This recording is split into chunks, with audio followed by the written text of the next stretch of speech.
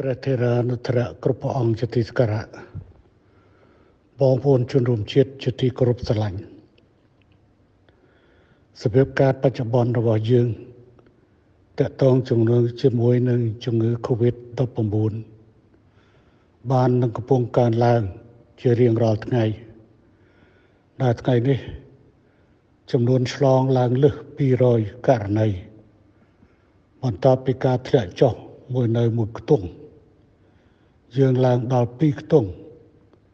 ឥឡូវយើងឡើងដល់3ខ្ទង់គឺកើនលើសពី100ទៅជាង200ស្ថានភាពបែបនេះតម្រូវឲ្យមានវិធានការជាបន្តបន្ថែមទៅលើវិធានការដែលមានរួចមកហើយដែលខ្ញុំប្រកាសណាខ្ញុំសូមយកឱកាសនេះអំពាវនាវចំពោះបងប្អូនជនរួមជាតិ សូមមេត្តាយកចិត្តទុកដាក់ទៅលើកិច្ចការពារខ្លួនជាចាំបាច់ក្រោយនោះបញ្ហាតកតងជាមួយនឹងការជួបជុំឬការប្រមូលផ្ដុំក៏ដូចជាវិធីទាំងឡាយដែលយើងបានអនុវត្តរួចមកហើយគឺ3កុំនិង3ការពារ ប្រសិនបើយើងម្នាក់ម្នាក់អនុវត្តបានយ៉ាងដូចនេះជំងឺនេះក៏មិនឆ្លងរីករាលដាលធ្ងន់ធ្ងរយ៉ាងដូចនេះដែរ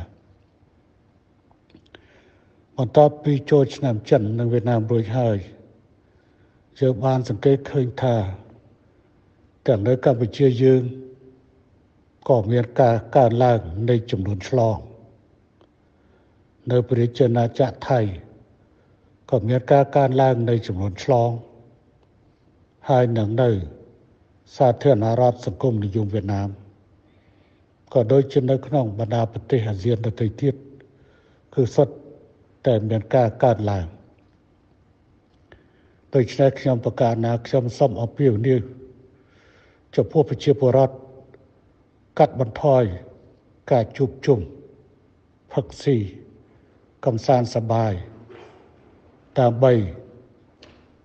ធានានៅការរក្សាគម្លាតសុវត្ថិភាពសម្រាប់ការពារនៅការឆ្លងបើទោះបីជាមេរោគបច្ចុប្បន្ននៅកម្ពុជាពុំមានករណី Delta និង Alpha ដែលជាជំងឺដ៏កាចសាហាវដែលឆក់យកជីវិតប្រជាជននោះក៏ដោយចុះ ជំងឺអូមីក្រុង បានមកជំនួសជាមួយនឹងជំងឺដែលធ្លាប់មានគឺ Delta និង Alpha ប៉ុន្តែតែជំងឺនេះវាស្រាលប្រៀបធៀបជាមួយនឹង Delta និង Alpha ក៏ប៉ុន្តែប្រសិនបើការឆ្លងនេះ នៅតែបង្កើនខ្ពស់កើនឡើងខ្ពស់វានឹងនាំទៅដល់គ្រោះថ្នាក់ដែលអាច សាយភាយចេញពីរាជធានីភ្នំពេញ ទៅកាន់បណ្ដាខេត្តដែលឥឡូវនេះខេត្តមួយចំនួនពុំមានករណីឆ្លងទេក៏ប៉ុន្តែនៅទីក្រុងភ្នំពេញ គឺបែរជាមានចំនួនឆ្លងច្រើនតែត្រូវយកចិត្តទុកដាក់ពង្រឹងនៅស្ថានភាពទាំងឡាយនៅតាមទីកន្លែងដែលមានការបើកឲ្យធ្វើអាជីវកម្ម ទៅជារង្កសាលឬពិធីជួបជុំនានាការរៀបអាពាហ៍ពិពាហ៍ឬការជួបជុំខាងសាសនាជាដើមគួរត្រូវបានកម្រិតធ្វើបានធ្វើឲ្យតិចកាន់តែតិចគឺកាន់តែល្អយើងធ្វើនេះមិនមែនជាការដើរថយក្រោយនោះទេក៏ប៉ុន្តែយើងធ្វើនេះដើម្បីទប់ស្កាត់នៅមហន្តរាយដែលអាចកើតជាយថាហេតុ អូមេក្រុងកំពុងតែរីករាលដាលនៅទីក្រុងភ្នំពេញយ៉ាងច្រើនបើសិនបើយើងមិនប្រយ័ត្នអូមេក្រុងនឹងពង្រាយនៅទូទាំងប្រទេសដោយដែលយើងធ្លាប់ជួបប្រទេសនៅប្រភេទជំងឺ Delta និង Alpha ដូចគ្នាខ្ញុំប្រកាសណាខ្ញុំអពាវនាវម្ដងហើយម្ដងទៀតសូមឲ្យគ្រប់កន្លែងទាំងអស់ត្រួតពិនិត្យឲ្យបានម៉ត់ចត់ នៅបញ្ហា ការអនុវត្ត3កុំនិង3ការពារសំខាន់ត្រូវយកចិត្តទុកដាក់ទៅលើបញ្ហា ការពាក់ម៉ាស់ការលាងដៃនិងការរក្សាកម្រិតហើយជៀសវាងនឹងការជួបជុំណា ដែលមានចរិតជាការឆ្លងហើយនេះគឺជាស្ថានភាពនៃដែលយើងត្រូវមានការប្រុងប្រយ័ត្ន យើងបានទទួលជោគជ័យច្រើនហើយយើងមិនត្រូវឲ្យជោគជ័យរបស់យើងធ្លាក់ទៅក្នុងស្ថានភាពនៃបរាជ័យនោះទេជាមួយគ្នានេះខ្ញុំប្រកាសនៅខ្ញុំក៏សូមអពាវនាវចំពោះបងប្អូនជនរួមជាតិសូមមេត្តាទៅទទួលយកអាសង្ឃដុសទី3ឲ្យបានគ្រប់គ្រប់គ្នាករណីវាក់សាំង គឺជាយុទ្ធសាស្ត្រកលឹះដើម្បីការពារជីវិតរបស់បងប្អូនបើទោះបីជាជំងឺវាឆ្លងក៏ប៉ុន្តែដោយសារយើងមានវាក់សាំងភាពសាំនៅក្នុងខ្លួនរបស់យើងវាកាត់វាអាចកាត់បន្ថយនៅអត្រានៃការស្លាប់ឬអត្រានៃការឈឺធ្ងន់ស្ថានភាពនេះ តម្រូវឲ្យយើងធ្វើដំណើរដោយជើងទាំងពីរជើងម្ខាងគឺវិធានការការពារតាមរយៈ3កុំនិង3ការពារនិងជើងម្ខាងទៀតគឺការចាក់វ៉ាក់សាំងអ្នកដែលមិនតាន់បានចាក់ក៏ត្រូវចាក់ដូសមូលដ្ឋានអ្នកដែលបានចាក់ដូសមូលដ្ឋានពីដូសរួចហើយត្រូវទទួលយកនៅដូសទី3ជាបន្ត សូមឲ្យក្រសួងសុខាភិបាលក៏ដូចជាស្ថាប័នពាក់ព័ន្ធនិងអាជ្ញាធរថ្នាក់ក្រោមជាតិខេត្តស្រុកក៏ដូចជាក្រុមប្រឹក្សាឃុំសង្កាត់និងភូមិក៏ដូចជាប្រជាពលរដ្ឋរបស់យើងយកចិត្តទុកដាក់អនុវត្តឲ្យបានខ្ជាប់ខ្ជួនដើម្បីជៀសវាងនៅមហន្តរាយសម្រាប់ប្រទេសរបស់យើង ខ្ញុំប្រកាសណាសូមអរព្រគុណចំពោះបដិជគុណប្រសងគ្រប់ព្រះអង្គនិងបងប្អូនជនរួមជាតិដែលបានយកចិត្តទុកដាក់ចូលរួមនៅក្នុងយុទ្ធនាការការពារនិងកាត់បន្ថយជំងឺ COVID-19 ដែលយើងបានទទួលជោគជ័យកន្លងទៅ Delta និង Alpha ស្ទើរតែអស់ពីកម្ពុជា ជំនួសដោយ Omicron ពិតមែនតែវាស្រាល ប៉ុន្តែប្រសិនបើវារីកកាន់តែធំនៅមហន្តរាយនឹងជួបប្រទះសូមបងប្អូនជនរួមជាតិចូលរួមអនុវត្តជាបន្តទៀតសូមអរព្រគុណសូមអរគុណព្រះធរានុត្រៈគ្រប់ព្រះអង្គជាទីសក្ការៈបងប្អូនជនរួមជាតិជាទីគោរពស្រឡាញ់សភាពការបច្ចុប្បន្នរបស់យើង តកតងជំងឺជាមួយនឹងជំងឺ Covid-19 បាននឹងកំពុងកើនឡើង ជារៀងរាល់ថ្ងៃដល់ថ្ងៃនេះ ចំនួនឆ្លងឡើងលើស200ករណីបន្ទាប់ពីការធ្លាក់ចុះមួយនៅមួយខ្ទង់យើងឡើងដល់2ខ្ទង់ឥឡូវយើងឡើងដល់3ខ្ទង់គឺកើនលើសពី100ទៅជាង200 ស្ថានភាពបែបនេះតម្រូវឲ្យមានវិធានការជាបន្តបន្ថែមទៅលើវិធានការដែលមានរួចមកហើយដែលខ្ញុំប្រកាសណាខ្ញុំសូមយកឱកាសនេះអំពាវនាវចំពោះបងប្អូនជនរួមជាតិសូមមេត្តាយកចិត្តទុកដាក់ទៅលើកិច្ចការពារខ្លួនជាចាំបាច់ក្រោយនោះ បញ្ហាតកតងជាមួយនឹងការជួបជុំឬការប្រមូលផ្ដុំក៏ដូចជាវិធីទាំងឡាយដែលយើងបាន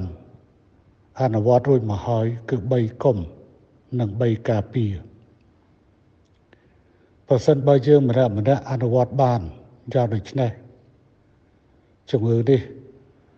ក៏មិនឆ្លងរីករាលដាលធ្ងន់ធ្ងរ យ៉ាងដូចនេះដែរបន្ទាប់ពីចូលឆ្នាំចិននិងវៀតណាមរួចហើយយើងបានសង្កេតឃើញថាទាំងនៅកម្ពុជាយើងក៏មានការកើនឡើងនៃចំនួនឆ្លង នៅប្រជាណាចក្រថៃក៏មានការកើនឡើងនៃចំនួនឆ្លង ហើយនឹងនៅសាធារណរដ្ឋសង្គមនិយមវៀតណាម ក៏ដូចជានៅក្នុងបណ្ដាប្រទេសអាស៊ានដទៃទៀតគឺសុទ្ធតែមានការកើតឡើងដូច្នេះខ្ញុំប្រកាសណាខ្ញុំសូមអពាវនាវចំពោះប្រជាពលរដ្ឋកាត់បន្ថយការជួបជុំផឹកស៊ីកំសាន្តសប្បាយដើម្បីធានានូវការរក្សាគម្លាតសុវត្ថិភាពសម្រាប់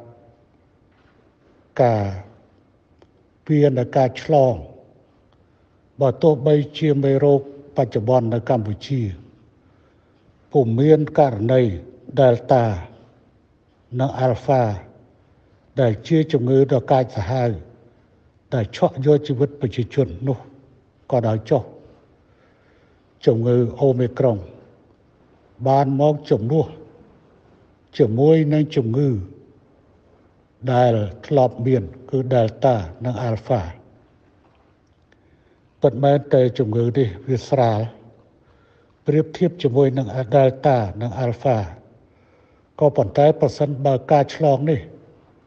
នៅតែបង្កើនខ្ពស់កើនឡើងខ្ពស់វានឹងនាំទៅដល់គ្រោះថ្នាក់ដែលអាចសាយភាយចេញពីរាជធានីភ្នំពេញ ទៅកាន់បណ្ដាខេត្ត ដែលឥឡូវនេះខេត្តមួយចំនួនពុំមានករណីឆ្លងទេក៏ប៉ុន្តែនៅទីក្រុងភ្នំពេញគឺបែរជាមានចំនួនឆ្លងច្រើនតែត្រូវយកចិត្តទុកដាក់ពង្រឹងនៅស្ថានភាពទាំងឡាយនៅតាមទីកន្លែងដែលមានការបើកឲ្យធ្វើអាជីវកម្មទៅជារង្គកសាលឬពិធីជួបជុំនានាការរៀបអាពាហ៍ពិពាហ៍ឬការជួបជុំ ខាងសាសនាជាដើមគួរត្រូវបានកម្រិតធ្វើបានធ្វើឲ្យតិចកាន់តែតិចគឺកាន់តែល្អយើងធ្វើនេះមិនមែនជាការដើរថយក្រោយនោះទេក៏ប៉ុន្តែយើងធ្វើនេះដើម្បីទប់ស្កាត់នៅមហន្តរាយដែលអាចកើតជាយថាហេតុអូមេក្រុងកំពុងតែរីករាលដាលនៅទីក្រុងភ្នំពេញយ៉ាងច្រើន ប្រសិនបើយើងមិនប្រយ័ត្នអូមេក្រុងនឹងពង្រាយនៅទូទាំងប្រទេសដោយដែលយើងធ្លាប់ជួបប្រទេសនៅប្រភេទជំងឺ Delta និង Alpha ដូចគ្នាខ្ញុំប្រកាសណាខ្ញុំអពាវនាវម្ដងហើយម្ដងទៀតសូមឲ្យគ្រប់កន្លែងទាំងអស់ត្រួតពិនិត្យឲ្យបានហ្មត់ចត់នៅបញ្ហា ការអនុវត្ត3កុំនិង3ការពារ សំខាន់ត្រូវយកចិត្តទុកដាក់ទៅលើបញ្ហា ការពាក់ម៉ាស់ការលាងដៃនិងការរក្សាកម្រិតហើយជៀសវាងនឹងការជួបជុំណា ដែលមានចរិតជាការឆ្លងហើយនេះគឺជាស្ថានភាពនៃដែលយើងត្រូវមានការប្រុងប្រយ័ត្ន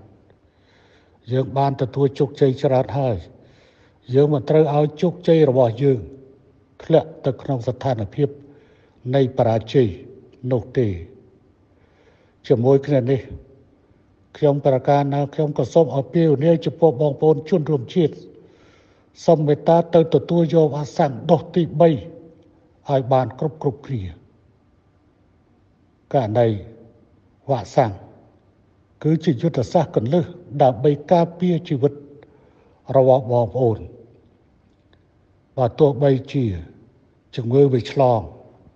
ក៏ប៉ុន្តែដោយសារយើងមានវាក់សាំងភាពសាំនៅក្នុងខ្លួនរបស់យើង